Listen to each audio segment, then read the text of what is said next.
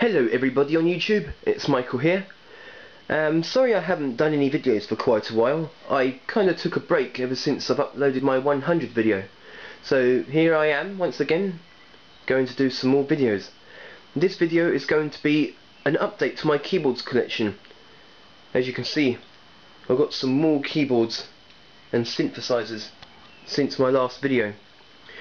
I usually do updates on my keyboards collections after I showed off a certain keyboard. For instance, the last one, the last time I showed off the PSS 790, um, there was an update on my keyboards collection that I showed after that.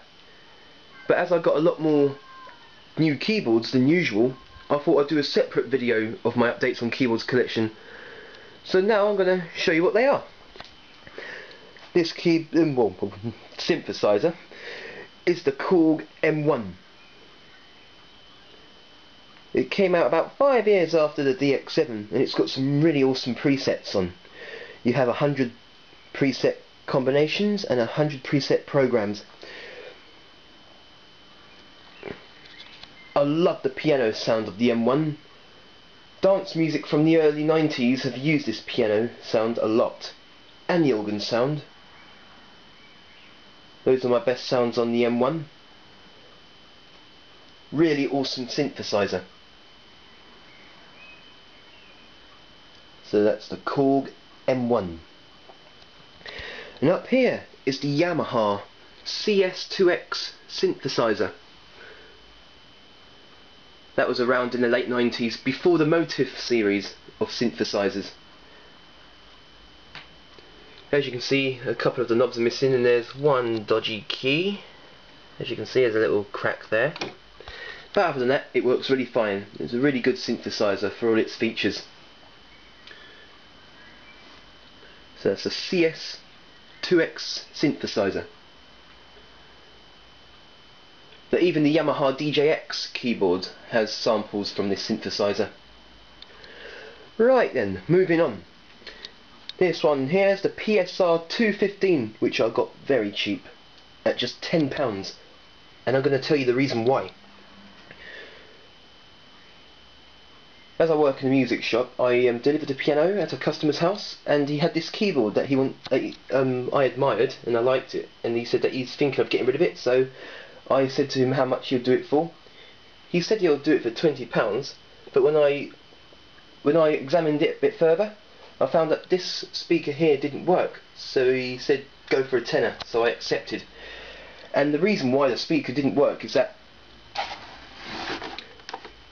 he soldered um, the adapter inside this keyboard. Basically he opened up the keyboard and soldered the adapter wire into place of the power which made one speaker didn't work. So the next day I've opened up the keyboard, took that wire out and the speaker was working fine. So now I've got a bargain there. PSR 215. You have a hundred voices, 50 rhythms and 15 demonstration songs. It's basically the same keyboard as the PSR 210 and 310. So yet again, a bargain at just £10. Up here is a 1980s Casiotone 405. Really nice piece of kit there, with a um, chipboard cabinet. Uh, you have 20 tones and 12 rhythms. It's basically the same as the, the little Casio, the MT68, but it's in a full-size keyboard. So this keyboard, the Casiotone 405, is the same as the C, sorry, the same as the MT68, but it's a full-size keyboard. As of the MT68, it's just a small keyboard. So yes, I've had fun playing this. Right, and moving on for the two keyboards. The two small keyboards here, there's the Casio PT1 and the Yamaha PSS 120 that I bought at car boot sales. Bargain at just £1 each. The Casio PT1 here, you have full sounds and 10 rhythms, one key play feature, record feature and the demonstration song. It's sort of like the same as the VL-Tone because it's got the same features. So I thought this was a bargain for just one pound at the car boot sale. I shall probably do a video of this keyboard next. Moving on, last but not least, yes, the PSS 120 that I also bought at a pound, just one pound at a car boot sale. It's a really good really good keyboard. You have eight rhythms, eight sounds, a demonstration song, and a recording feature. The sad thing about this keyboard that it only survives with two notes polyphony and when you do the recording feature it's only monophonic. I know that previous videos I pronounced monophonic as monophonic. I honestly didn't know how it was pronounced so I apologise on that.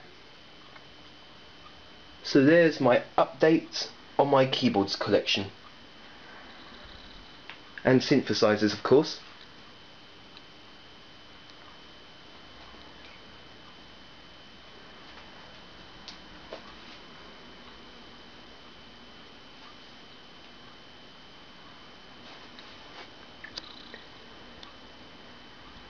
Maybe more to come.